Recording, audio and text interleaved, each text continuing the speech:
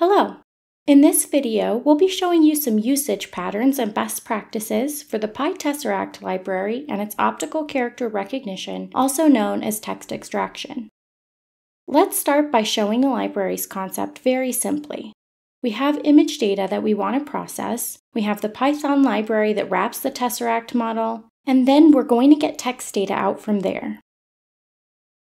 So this library through Python is going to do this transformation where we get text out of our images. Now, while we're here, let's grab a screenshot that we can use as an example. You can use both digital and physical images for this sort of work. All right, so we've got our screenshot here that we're going to process using the library. Now, a little bit of setup advice. Since this is not like a traditional Python library, we not only need to install the PyTesseract library, but we also need to install the operating system level utility. So if we update the package manager for our operating system, which is Linux, we can search for Tesseract and then install the correct library. So whether you're on Linux, Windows, or Mac, just make sure that you get this library and not just the Python package that wraps it. The Python package basically just gives you Python bindings for this operating system library. And as you can see here, there's quite a lot of options for the installation, mostly around different languages, but we'll install this package here. Now we can go ahead and get started on our Python script. So at the top of this Python file, we'll of course import our new Python library. However, we'll also want the pillow package, which will give us utilities for working with images, and we're going to import both the image class and image enhance class.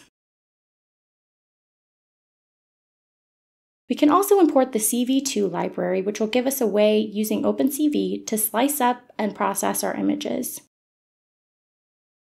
Let's rename our screenshot to a more friendly name and then install that OpenCV library.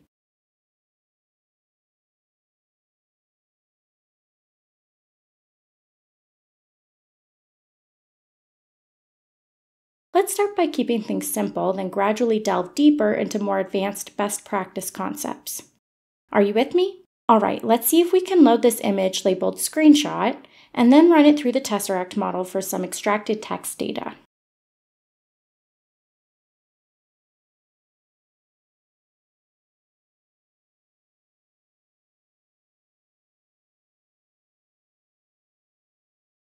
Now let's try running this script. And voila, we're already achieving text extraction with just a few lines of code. That stands as a testament to the power of this library. Minimal configuration is needed. Let's print this data. You'll notice it's somewhat verbose, but it throws in some handy bounding boxes for our text.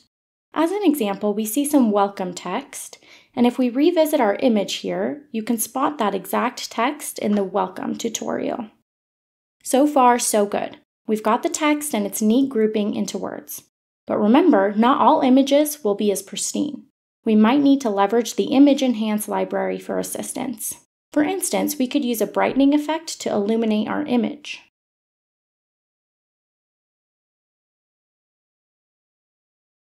Shall we save this brightened version for comparison?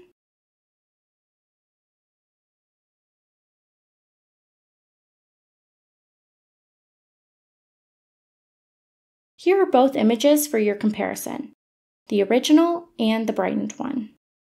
If we use this brightened image, our model may yield different values. We might even spot some text easier. For instance, did you notice how we didn't extract the text on the left in the initial attempts? But now we are, and we're consistently getting the welcome text as well. Just to emphasize the difference, let's print this data twice.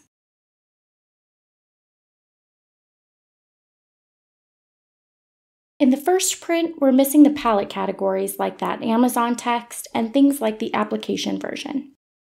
In the brightened image, we seem to have located the application version and other texts much better.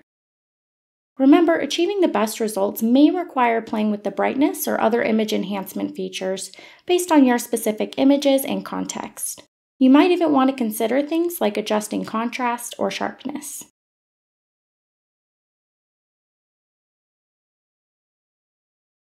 Curious to see how our tweaks have affected the image that the library processes? In this screenshot edited here, notice the increased contrast. It's quite helpful when dealing with mixed darker and lighter text shades.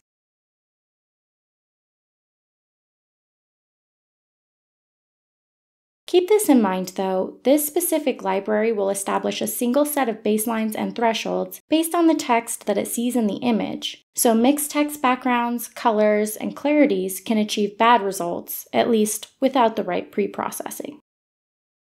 For instance, if we expand this terminal, we manage to catch some of the text on the left, but we miss out on capturing this text data. Why so? They've been rendered at very different color profiles. Let's address this using another trick. We'll separate parts of the image for effective handling. How about we comment out this analysis and discard our preliminary optical character recognition? In fact, let's search forward and shift this processing action towards the top of our file. Next up, we're going to engage the CV2 library, which will act as our sculpting tool to chisel out specific sections of our image.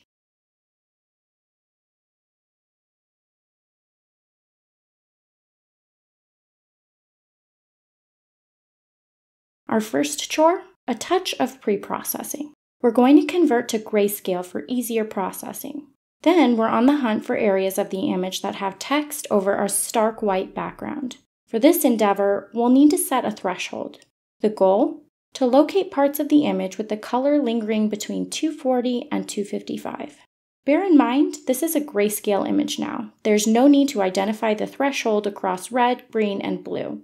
So essentially, we're isolating the white or near white colors to partition our image more distinctly along those sectors. How are we accomplishing this? Via the intriguing kernel concept. The kernel signifies that we'll sieve out regions of the image separated by at least 25 pixels and use that as the criteria to fragment our image.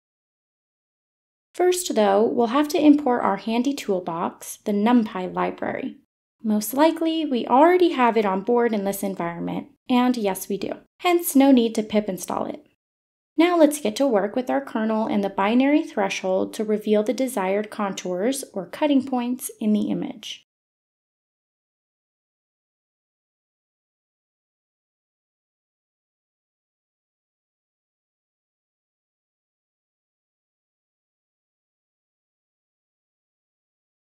Up next, we're pinpointing all those white background portions of the image and bringing them into a new image. Picture it, an image identical in size to our first one, but filled with the artifacts we extracted from the original image.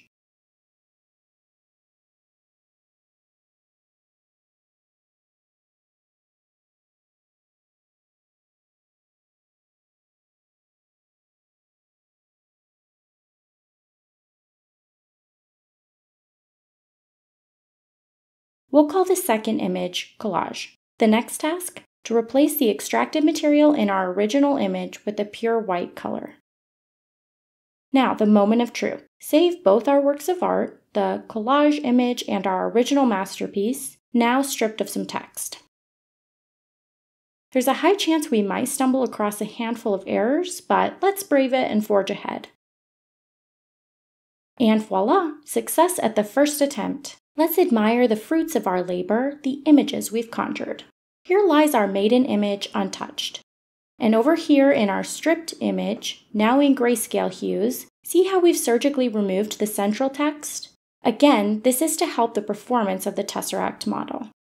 Now, we'll gaze into the collage image swarming with the captured text.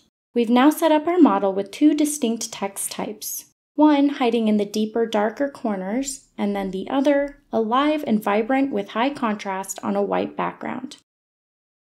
Of course, we could further refine these images via post-processing for brightness, sharpness, and contrast, as earlier discussed, to further improve our results. So, without further ado, let's enhance the brightness and contrast slightly, pumping the brakes on the sharpening. Hopefully, this carefully crafted process results in a sharper, more evident textural background. Our final endeavor? Reinstating our model-based data extraction. To achieve this, we need a little help from Tesseract, working its magic on both the stripped and the collage images.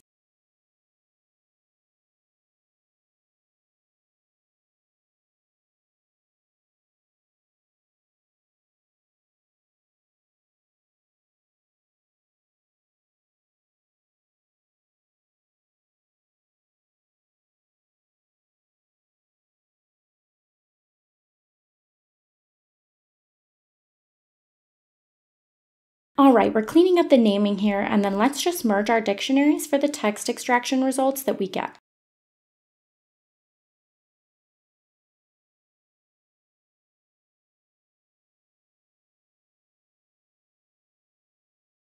Let's maybe call this one data, and then we'll add the collage data to it and print out that data once we're done.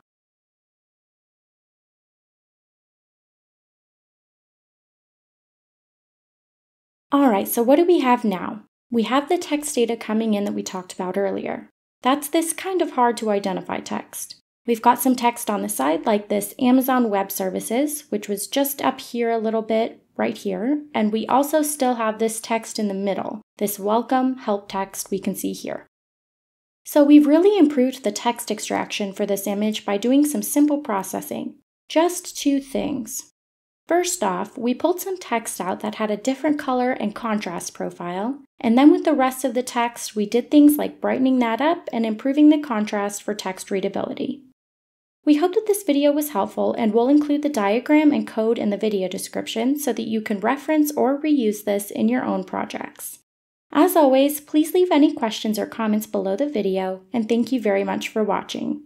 Please enjoy responsibly.